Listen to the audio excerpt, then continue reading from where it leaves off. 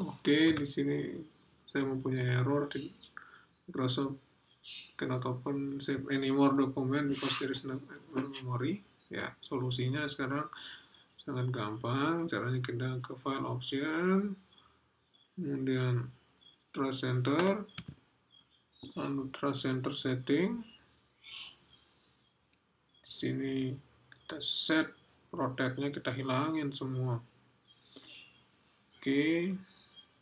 Lalu kalau sudah di oke. Okay. Kita coba buka lagi filenya dan boom, sudah bisa terbuka. Oke, okay, thank you. Itu saja. Sekian tutorial dari saya. Keep your passion.